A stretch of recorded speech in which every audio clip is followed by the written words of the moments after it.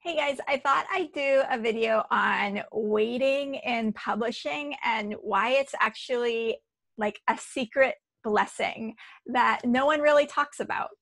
So, waiting happens at every stage of the publishing game because publishing is so slow. It takes one, when you're querying to get an agent, you send out your query letter and then you wait sometimes weeks or months for that agent to respond uh, saying that they want to read your full manuscript.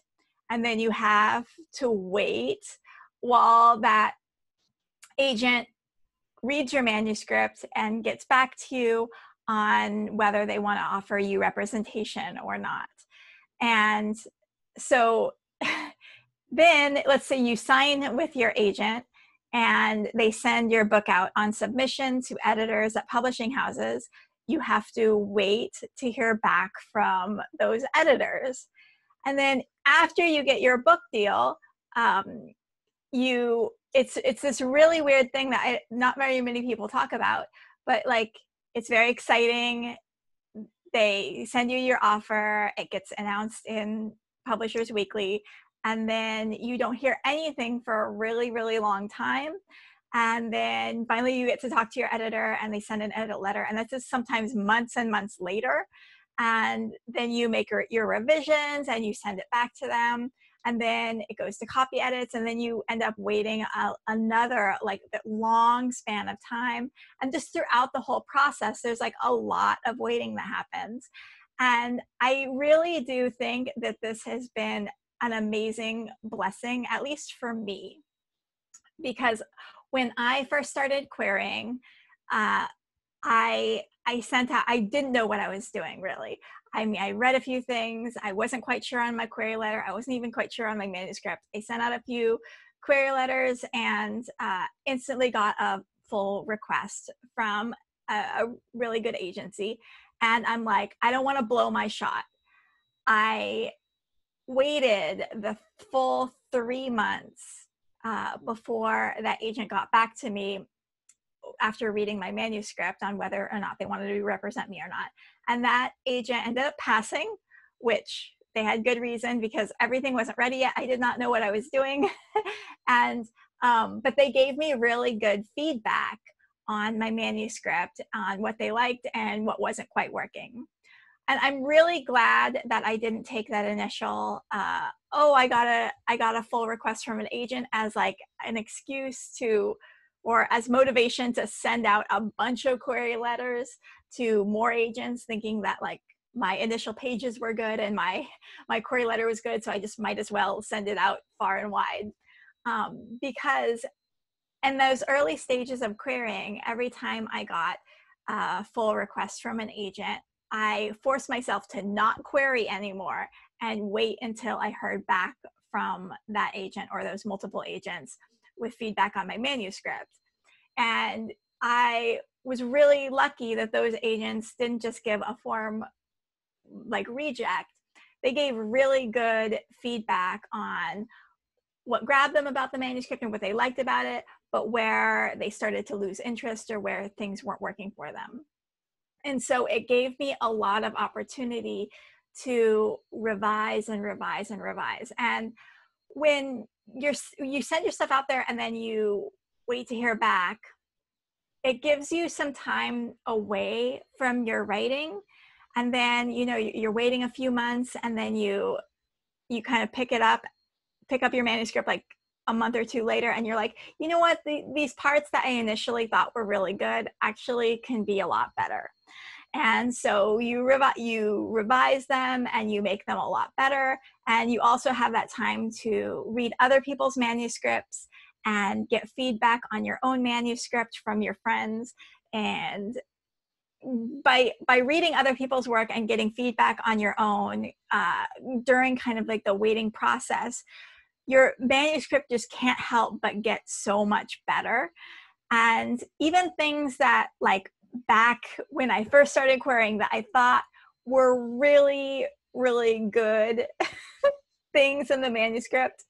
Um, at some point along the waiting game and along the like the waiting process, I realized, wow, this thing that I used to think was really, really good is actually, it needs to be a lot better. Because I did a lot of growing up in the whole creation and querying and finding representation and ultimately finding a publisher. Like, I became kind of a, a different person who was more mature and more un- understanding of the world and relationships and people and so I had the chance to go back and put my newfound knowledge into my manuscript and make it more nuanced and better and make the characters richer and make make the plot challenges more juicier i guess you could say. And also like the representation of disabilities and the representation of the um, personal, individual, authentic experiences of these characters a lot more nuanced than like say back in the 2015 version of my manuscript where i'm like this is so great but actually no it needed it needed to, uh, to grow up a little bit. So all of this like waiting it's not this oh gosh i have to wait. This is so awful. My manuscript's so good it just needs to get out there and all this waiting is pointless. The waiting is allowed my little my little plant, my little manuscript plant to grow and blossom and like parts got pruned off. And now you know it's like it takes time for even like a cooking metaphor. It takes time for your dough to rise right? It you have to you have to like wait for it and you have to wait for like the chemical reactions. And so so, so anyway, waiting in publishing is a blessing. I am so, so glad that the version of my manuscript that I have now is what's going to get published and not the 2015 version of my manuscript.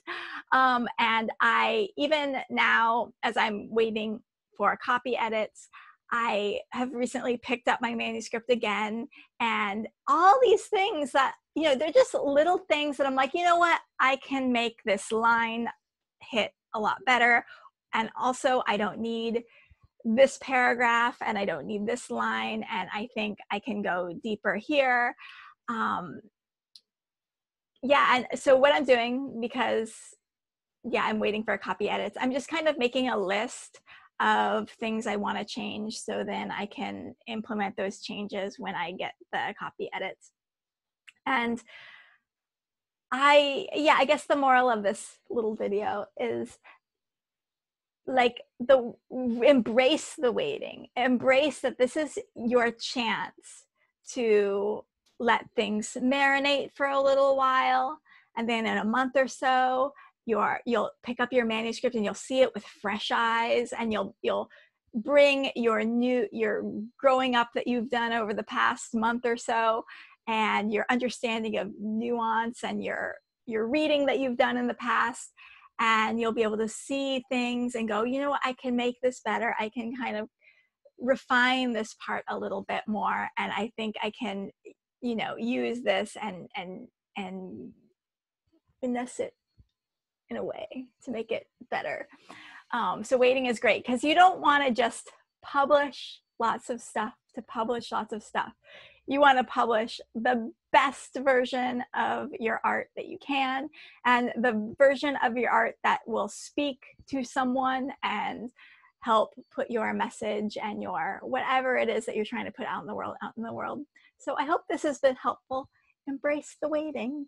Um, if you are finding yourself in a waiting situation um, because it's it's it's so going to make your manuscript better when you finally dive back into it and see all the things that that can be improved on it. Okay? I hope this was helpful